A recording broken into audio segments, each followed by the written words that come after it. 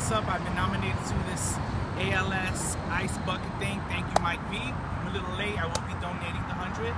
But I'm going to donate Juan Manny Acevedo, my sister Ignara Ramos, Susan Mezzo.